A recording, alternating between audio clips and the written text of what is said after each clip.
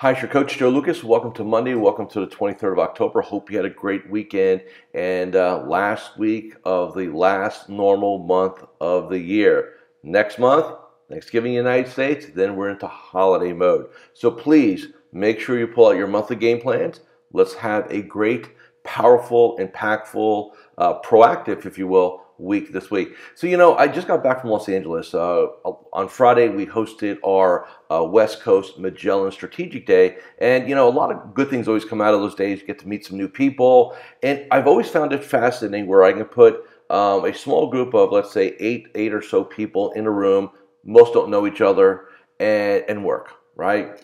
And so today, what I want to do is really have some different kind of thoughts, if you will, um, on just kind of what to do to kind of elevate yourself to that next level.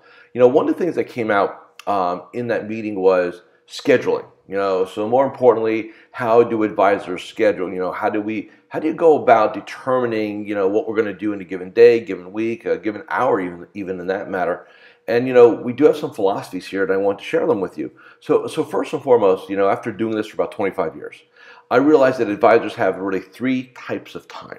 Okay, you have your tactical time, you have your strategic time, and then you you have to have or you need uh, your renewal time. So three chunks. Now, what a lot of advisors try to do, which I think doesn't work really well for about 98% of us, is that they try to have this mishmash every day, right? Well, I'll do some tactical stuff, I'll do some strategic stuff, and maybe I'll, I'll, I'll get out early a little bit, right? So they think that, well, that works.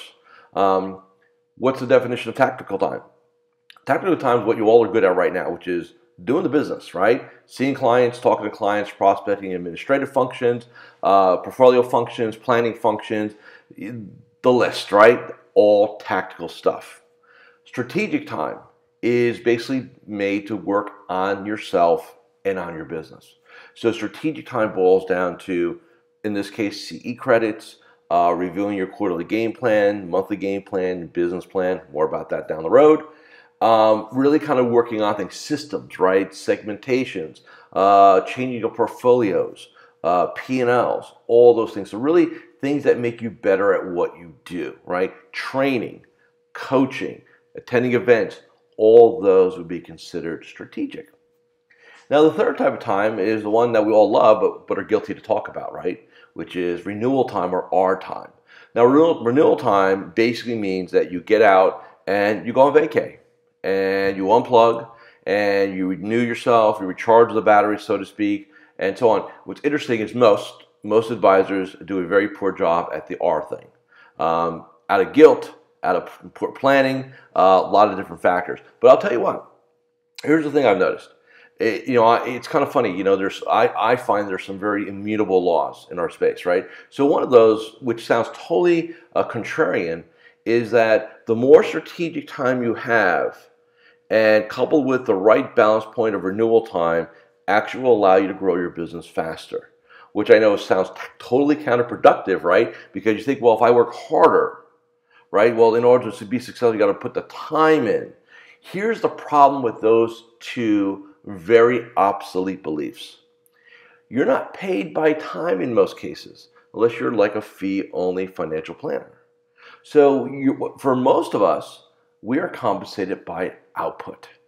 How many calls did you make today? How many reviews did you have? How many introduction conversations did you have? And this concept of, and by the way, this is, this is, this is very pervasive in our industry. We're still operating as if it was 1980, which is we got to be tethered to our desk. The market's open. We got to be there because the market's open because God forbid a client calls and we're not at our desk and all this kind of crazy stuff. And the reality is that if what matters to your clients is your accessibility. And with technology today, whether you like it or not, right, you are accessible pretty much 24 7. You know, your cell phone, a text message away from a client. So, why do most of us then still have this rule set that's literally 30 years old, 30 plus years old, right? Why? Because we are creatures of habit. It's this institutional groupthink that our industry is pervasive with, right? Monkey see, monkey do. That's the way I ask this question all the time. Why is it the way? why is it this way? You know, why why nine to five? Why you know nine to five? Right? Why two weeks vacation a year? Why you know why the fee structure? Why one percent? Right? Why this? And you know what I know to get back? Not a good answer. So I'm like, well, I don't know, just the way it was, or just the way I was taught, or just the way the, everybody else does it, right? It's like no good reason. So here's, here's what I want to challenge you with today. You know, here we are the last week of October. What I really want you to do is I want you to look at between now and the end of the year, and what I want you to do is make some decisions. Make some decisions on how many tactical days, so in the business, strategic days, what what what are my end of year projects? CE, whatever else I've got to get done. You know, we're going to start talking about this now. What are you going to do for your planning for 2018? Now, I'm coming out with a brand new, you know, ground up Magellan strategic planning system. We're going to do an event in January. There'll be some pre work to do, and I'll be sending you an invite on that, right? As long as you're following me, you're hooked up with me, you're on my newsletter list, uh, you follow me on social media, you'll get access to it, right? But all these things you need to figure out. What you don't want to do is end the year in the same way you started the year and then expect 2018 to be different. It doesn't happen that way, right? So I want you, how many, how many tactical days do I need? How many strategic days do I need? Am I getting any vacay or renewal time, right? And the answer is yes. And I'll tell you where it is. For most of us this week, you know, last week of the month is strategic. So for me, I'm on strategic time. What am I doing this week? I am shooting a ton of video for the brand new Magellan strategic planning process, right? That's what I'll be doing all week. But a, a, lot of my clients are off this week. You know, they'll be working on things. They'll be attending conferences. They'll be doing training, stuff like that. They'll be doing what they need to do to be successful. And then, and then what are you going to do in in um, November? Right? We have Thanksgiving here in the United States. Well, great opportunity. Thanksgiving week is I don't say throwaway week, but you're not going to find too many takers for a lot of stuff come Tuesday, Wednesday, right? So you can have a nice chunk of time there, exhale a little bit, right? And then really figure out. And the last thing I'm going to ask you to do is when does your year end?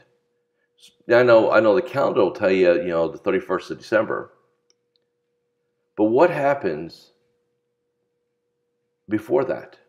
Are you looking like for a lot of my clients? You know, we put a we put a X in the calendar, December 15th, Friday, last tactical day of the year, right? Not saying we will take client calls or do stuff like that, but as far like scheduling meetings and stuff like that, a lot of my clients, including myself, by the way, uh, December 15th, that's it. We're gonna, I'm gonna end the year with a great Magellan Strategic Day in Orlando, Florida, and I'm gonna jump on a boat the next day and uh, do one of those, right? Because it's been uh, been the year.